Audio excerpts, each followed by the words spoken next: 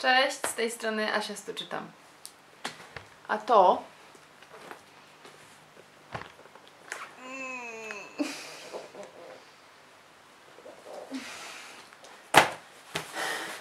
To wszystko stało się jednego dnia.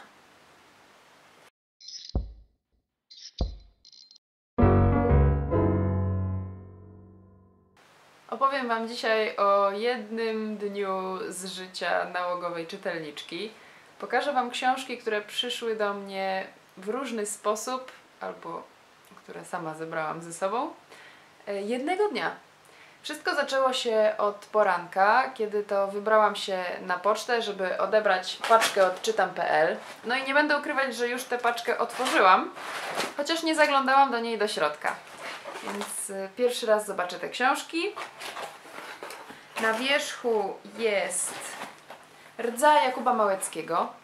Jestem już po lekturze Dygotu i w trakcie lektury Śladów, o czym za chwilę się przekonacie. E, Rdze y, kupiłam z myślą o krakowskich targach książki. Mam nadzieję y, spotkać się z autorem, podpisać tę książkę. Dygot bardzo mi się podobał. Ślady jestem po pierwszym opowiadaniu i też bardzo mi się podobało. Mam nadzieję, że Rdza zachwyci mnie tak jak wielu innych czytelników. I co my tu mamy z tyłu? Lato 2002 roku. Czekając na powrót rodziców z wielkiego miasta, siedmioletni Szymon układa monety na torach. Nie wie, że jego życie już nigdy nie będzie takie jak dotychczas. Kilka dekad wcześniej jego babka Tośka wyrusza w podróż, którą zapamięta na zawsze. Wyrwana z bezpiecznego domu dziewczynka trafia do obcego świata, którego zasad musi się nauczyć. Jako dorosła kobieta stanie przed konsekwencją swoich dawnych wyborów. Czyli znowu wracamy do motywu, który Małecki podejmował w Dygocie. Y, Będzie pokoleniowo, to już wiemy. Spodziewam się bardzo dobrego języka, takiego lekkiego, płynącego, y, prawie poetyckiego, ale jednak nie stylu. Y, Mam nadzieję, że będzie książkę się bardzo dobrze czytać, y, tak jak Dygot, który właściwie połknęłam. Co mamy dalej? O, a dalej jest prezent od księgarni, od czytam.pl, za który bardzo dziękuję i o którym nie słyszałam. Umami. Wiecie coś o tej książce? Bo ja nic. Opowieść o stracie, a zarazem hymn na cześć życia. Bardzo ładna okładka. Umami to słowo, które w języku japońskim znaczy smakowity, pyszny. Określa jeden z pięciu smaków, na zachodzie znany dopiero od niedawna. Poznają go mieszkańcy pewnego osiedla w Meksyku. Czy życie może być pyszne mimo poniesionej straty, śmierci lub odejścia bliskiej osoby? Okazuje się, że bolesne doświadczenie może stać się początkiem smakowania życia na nowo, dostrzeżenia tego, czego przedtem się nie zauważało. Ta piękna, niebanalna powieść to prawdziwy hymn na cześć człowieka. Hmm, brzmi bardzo interesująco. Rozumiem, że będą tutaj osoby, które zmagają się z jakąś stratą i będziemy sobie mogli poczytać, jak sobie radzą albo czy sobie radzą. I widzę już zakładki od księgarni. Dziękuję bardzo. Czytamkowy świat, mole książkowe na horyzoncie. Czytam hak.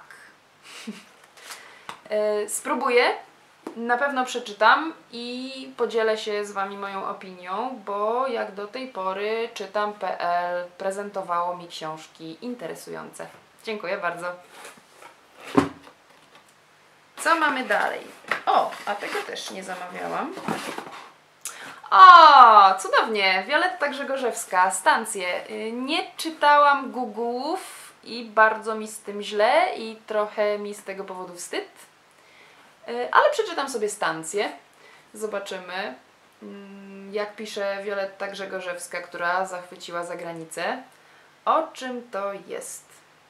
W roku 2015 podczas Europejskiej Nocy Literatury w Londynie dziennikarka zapytała mnie, jak żyło mi się pod Jasną Górą. Dokładnie w tamtej chwili, przyświetlonej reflektorami, postanowiłam zawrócić do drugiej połowy lat 90., wysiąść na częstochowskim dworcu, by znów iść przed siebie z walizką. Tak, nad rozlewiskami Tamizy w ciągu wielu nieprzespanych nocy napisałam opowieść o biednej dziewczynie z prowincji, która stara się przetrwać w mieście, o poszukiwaniu swojego miejsca, o przyjaźniach i pierwszej namiętnej miłości, toczącą się w szalonym rytmie kaprysów skrzypcowych Paganiniego, których słuchałam podczas pisania. O! Brzmi bardzo interesująco. Yy, Paganiniego bardzo lubię. Sprawdzę, zobaczę. Bardzo dziękuję, czytam.pl. Tutaj też ukryty był zestaw zakładek. O takich. I, i, i, i, i jeszcze dinozaur. Ale zestaw zakładek to jest nic, bo ja dostałam dedykację pięknej, zaczytanej jesieni. Bardzo dziękuję. Mam nadzieję, że taka właśnie będzie. O, już widzę, że jest książka, dla której właściwie całe to zamówienie się zaczęło. Całe zamówienie zrobiłam. Książka, o której niedawno wspominałam w tagu Literackie Miasteczko i której miałam nie mieć, bo musiałam ją oddać do biblioteki, ale takie jest moje szczęście, że książki, które mi się podobają, bardzo często są bardzo tanie w różnych miejscach. I właśnie zamknięte drzwi Magdy Szabo były tanie, a ta książka jest bardzo dobra. Polecam Wam bardzo. Y, opowiem o niej niedługo, już sobie szykuję notatki do filmu na temat y, tej książki. Znowu powiem, że jest świetna. Bierzcie póki jest. Ona kosztowała jakieś 12 zł chyba na czytam.pl. Polecam. I ostatnia rzecz. Tutaj pozdrawiam mojego kuzyna, któremu tę właśnie książkę kupiłam i wywiozłam ją za granicę, gdzie kuzyn mieszka i pozazdrościłam mu i kupiłam sobie też inną duszę Łukasza Orbitowskiego. Bałam się, że nie będę miała jej szansy jeszcze długo przeczytać i stwierdziłam, że a co tam, nagrodzona, doceniona, polska powieść, warto y, mieć na swojej półce i na pewno niedługo się za nią zabiorę, bo już zaczęłam ją czytać, ale musiałam ją oddać do biblioteki i bardzo mi się podobała. Także y, czekajcie na jakąś moją opinię w tej sprawie. Już wiem, że styl jest bardzo dobry. No, to z czytam.pl yy, to tyle. Potem poszłam do biblioteki, bo dostałam informację, że przyszły książki, które sobie zamówiłam. No i właśnie przyszły. Pierwsza to e, Ślady Jakuba Małeckiego, które tak jak przed chwilą już powiedziałam, już czytam. Jestem po pierwszym opowiadaniu, które jest bardzo ciekawe. I zaczęłam drugie, ale będę musiała zacząć je jeszcze raz, bo już y, niewiele pamiętam. Czytałam je w nieodpowiednim momencie, troszkę mi świat przeszkadzał czytać. Jakub Małecki jest już właściwie nazwiskiem, które prawie że gwarantuje y, przygodę czytelniczą bardzo przyjemną i na to liczę i jak na razie się nie zawiodłam. Następną książką, jaką sobie zamówiłam jest Śmierć przewodnika rzecznego Richarda Flanagana. Zobaczyłam, że jest dostępna, akurat była na stronie głównej biblioteki, y, więc y, stwierdziłam, że to chyba jakiś znak. I y, Gosia ma taką ambiwalentną opinię na temat tej książki. Pani Ani bardzo się podobała, pani Ani z Czytami pisze. I Oli z Bóg z Tobą chyba nie bardzo. Więc y, trzy osoby, których opinię cenię i trzy bardzo różne recenzje tej książki. Y, ja, jak wiecie, Flanagana czytałam Księgę Ryb Williama Golda i jestem zachwycona tą książką. Mam nadzieję, że debiut Richarda Flanagana jednak też mi się spodoba.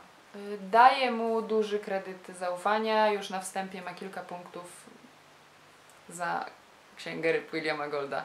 Zobaczymy, czy mi się spodoba. Jestem bardzo ciekawa. Podyskutuję sobie z Gosią na temat tej książki na pewno. I trzecia książka, jaką sobie zamówiłam, yy, i ja wiedziałam, że ona będzie gruba, ale nie myślałam, że aż tak. Nie wiem, czy dam radę ją przeczytać, chociaż mam chyba dwa miesiące na jej skończenie. To są bardzo popularne w tej chwili Nixy Nathana Hilla. I tak, mam ambicje je przeczytać. Y, nie zrażam się gabarytami, ale to będzie musiała być bardzo dobra książka, żebym ją skończyła.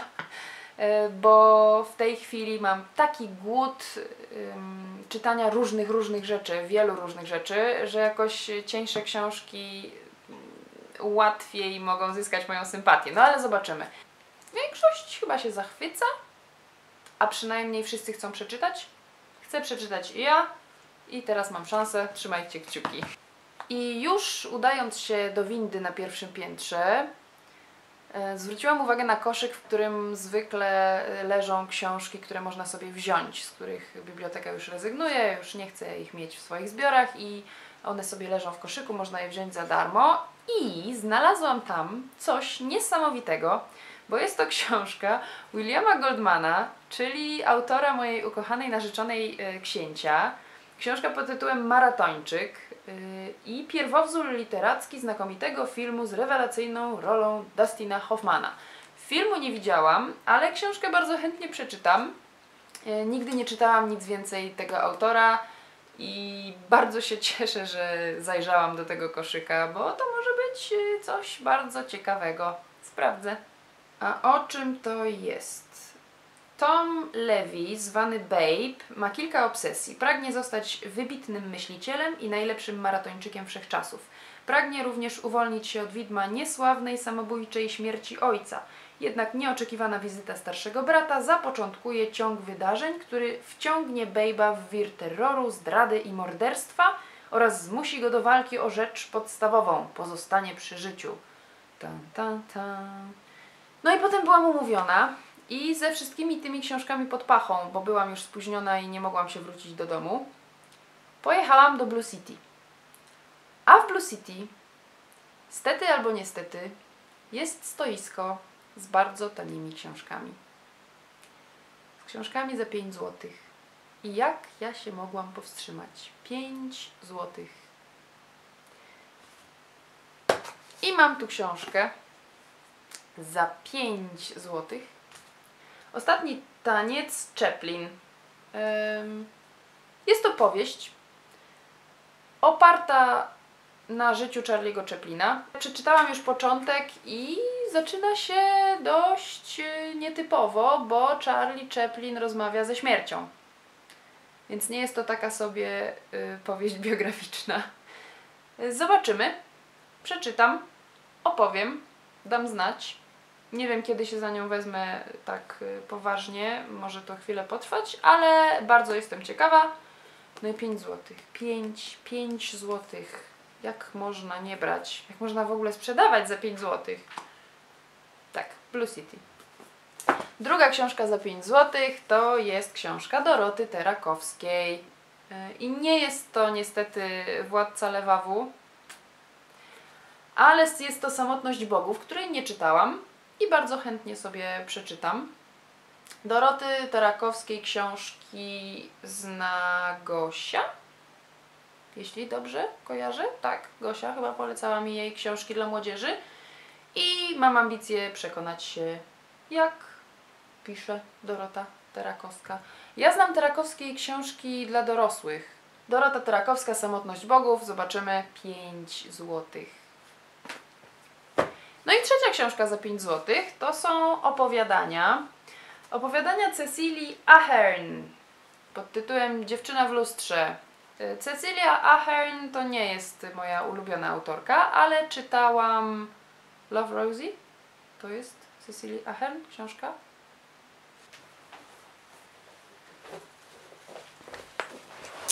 Tak, lubimy czytać. Y, mówi, że to Love Rosie napisała Cecilia Ahern. Przepraszam, że taka jestem mało przygotowana i elokwentna dzisiaj. Ale jest już późny wieczór. Jestem już po lekturze tych dwóch opowiadań. No i muszę powiedzieć, że yy, pozytywnie mnie zaskoczyły, bo nie spodziewałam się niczego ambitnego yy, za 5 zł. A te opowiadania są dość interesujące. Yy, pierwsze. Hmm. Pierwsze mówi o dziewczynie, która ma wziąć ślub i która ma bardzo silną więź ze swoją babcią. Nie będę Wam zdradzać więcej, bo zepsuje Wam y, czytanie tego opowiadania, jeżeli będziecie mieli ochotę po nie sięgnąć. Y, Jest bardzo klimatyczne i warto niczego o nim nie wiedzieć, kiedy się do niego siada, bo od samego początku buduje taki nastrój niepokoju, grozy, więc y, nie chcę Wam za dużo zdradzać. Y, Takie jest troszkę magiczne. Y, Drugie opowiadanie, czyli Mhm. Maszyna wspomnień y, opowiada, jak sam tytuł wskazuje, o maszynie wspomnień. Pewien naukowiec zbudował maszynę, która potrafi zastępować nasze wspomnienia jakimiś innymi. To znaczy, mm, może dobudować nam pamięć. Y, Jeśli robiliśmy coś, z czego nie jesteśmy dumni, możemy sobie nadrukować jakby inną wersję y, tego y, wydarzenia albo tego, co zrobiliśmy, tak jak to pamiętamy. I to opowiadanie było dla mnie dużo ciekawsze. E, Dlatego, że tutaj naprawdę można się nad pewnymi rzeczami pozastanawiać, e, co człowiek chciałby wyrzucić z pamięci, e, czy mm, jedna chwila może zdominować nasze całe późniejsze życie. I tak, to opowiadanie mogę polecić. Dziewczyna w lustrze to takie bardziej rozrywkowe, lekko straszne opowiadanie. Y, Ale jestem zadowolona. Za 5 zł to była naprawdę przyjemność na dobrym poziomie. No i ta pani, która miała książki za 5 zł, miała też komiksy za 10 zł. I nie powstrzymałam się. I kupiłam sobie cztery komiksy za 10 zł każdy. E, Pani miała komiksy o Smurfach i komiksy z Asterixem. No jak zobaczyłam, że pani ma pierwszy tom przygody Gala Asterixa, czyli ta, tę historię, którą dostałam na kasecie VHS za dzielność, kiedy dzielnie znosiłam stawianie baniek w czasie e, ostrego e, przeziębienia czy tam zapalenia płuc, no to nie mogłam się powstrzymać i kupiłam i przyniosłam do domu i przeczytałam. I jest tak samo fajny, jak pamiętam. Przygody Gala Asterixa, tom pierwszy. I kupiłam sobie też y, dwa moje ulubione y, tomy mm, z ulubionych moich filmów, y, bo nie czytałam wcześniej komiksów Asterixa. Album piąty, czyli Asterix i Kleopatra. Pozdrawiam tu mojego kochanego tatusia, z którym śpiewaliśmy piosenkę Kleopatry i Tygrysa. Oto kąpiel Kleopatry, tak, to jest właśnie w tym tomie. I też już przeczytałam, też bardzo mi się podobał. E, Kleopatra ma fantastyczny nos. I album siódmy, czyli Asterix u Brytów. E, Asterix w Brytanii y, w wersji filmowej. E, Bardzo lubię tę historię, jest zabawna, świetnie pokazuje różnice kulturowe. Jeszcze jestem przed y, tym komiksem, ale dość dobrze pamiętam film. Zobaczymy, czy będzie się czymś różnić. No i kupiłam sobie też jeden komiks ze Smurfami. Smurf Reporter. Też już jestem po lekturze i muszę powiedzieć, że jestem pozytywnie zaskoczona, bo to jest komiks, który czegoś uczy. Y, Uczy y, etyki dziennikarskiej, mówiąc w skrócie. E, Bardzo fajna historia Smurfa, który postanowił założyć gazetę. No i uczy się na swoich błędach y, i wydaje taką gazetę, jaką ludzie chcieliby czytać, y, jaką najprzyjemniej im jest czytać i która daje najwięcej emocji. No i łatwo można się domyślić, jak to wszystko się kończy. Etyka dziennikarska w Smurfach. Śmiało możecie dyskutować z dziećmi. Polecam.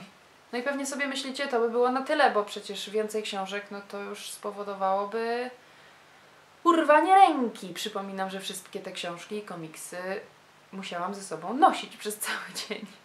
Otóż nie.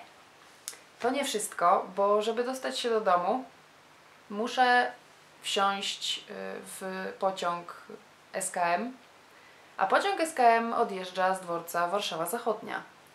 A na dworcu Warszawa Zachodnia jest matras, który cały czas ma, a przynajmniej miał w tym właśnie dniu, obniżkę minus 50% na cały asortyment.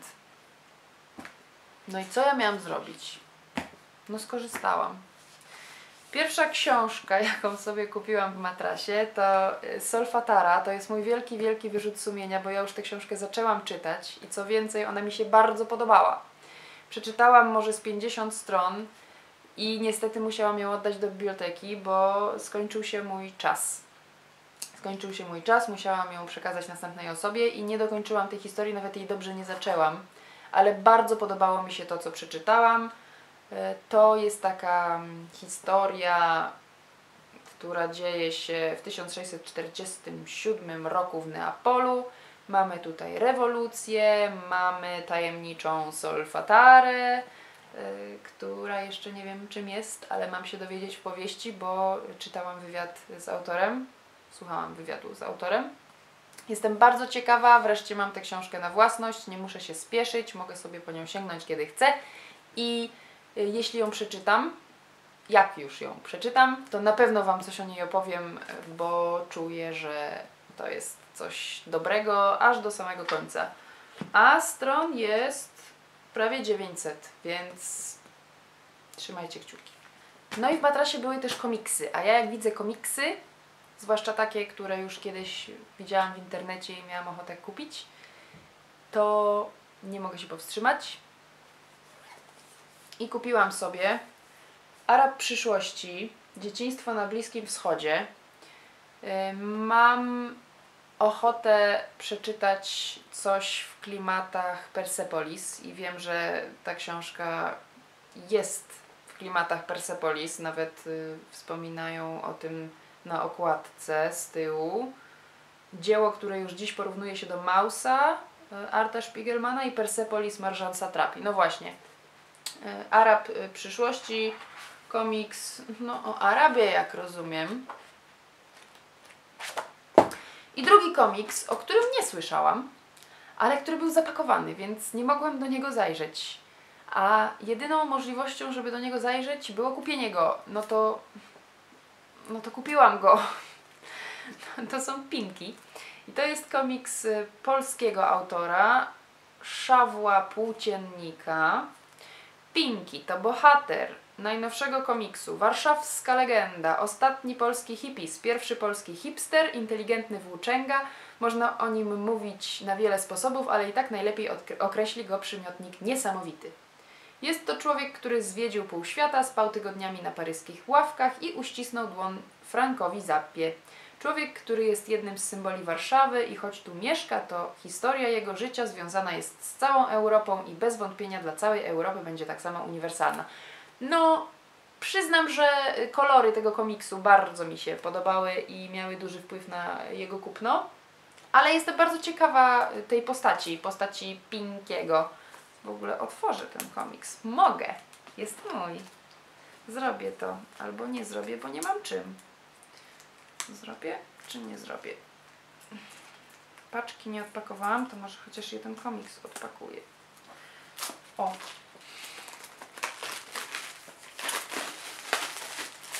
Na wizji. No, Szaweł Płóciennik. Komiks jest cały różowy. Miałam nadzieję, że taki będzie. Zajrzę na pewno już niedługo, bo mam, e, chyba to widać, mam ochotę na komiksy. Jestem w nastroju komiksowym. Tak jak mówiłam, mam ochotę czytać szybko w tej chwili, a komiksy czytam dużo szybciej niż powieści. Pinki. I ostatnia książka z matrasa. I tak, fanfary to jest ostatnia książka, jaka wpadła w moje ręce tamtego dnia. I był to zakup bardzo spontaniczny, bo akurat właśnie wtedy wrzuciłam na Instagram zdjęcie książki Eleonora i Park, a właściwie Asia tu czytam y, i Park Rainbow Rowell i przypomniałam sobie o tej autorce. Zapytana zostałam też o zrobienie recenzji tej książki i powiedziałam, że no, no nie, bo czytałam tę książkę już rok temu i Fangirl też czytałam rok temu, no to teraz robić recenzję troszkę bez sensu, ale jeśli przeczytam coś jeszcze tej autorki, to dam znać i pewnie zrobię recenzję. No i trafił w moje ręce załącznik Rainbow Rowell. Historia jest dosyć ciekawa, bo to jest y, historia mężczyzny, który śledzi korespondencję w pracy. Administrator bezpieczeństwa danych. Buduje systemy zabezpieczeń i odbiera, odpiera ataki hakerów. Em, no. I zakochuje się w jednej z autorek y, maili, które czyta. Na pewno dość lekka historia, ale znając Rainbow Rowell, będzie w niej coś interesującego. Taką mam nadzieję i jak tylko uporam się ze wszystkim, co mam już do czytania, to sięgnę i wtedy, tak, wtedy zrobię recenzję o książkach Rainbow Rowell i o tym, jak mi się podoba jej pisarstwo. Teraz mam co czytać i Wy o tym wiecie i możecie mnie dopingować albo też y, przypominać mi, że nie powinnam już niczego więcej kupować, bo mam co czytać. Dajcie znać, czy znacie któreś z tych książek, na pewno któreś z nich znacie, ale czy któreś z nich czytaliście. Bardzo jestem ciekawa Waszych opinii. Może napiszcie mi, po którą powinnam sięgnąć najpierw. Poza bibliotecznymi oczywiście, bo tutaj gonią mnie terminy. Zaglądajcie na naszego Facebooka, na naszego Instagrama, subskrybujcie kanał, jeżeli jeszcze tego nie robicie. Bardzo Wam dziękuję za uwagę i pozdrawiam serdecznie. Pa!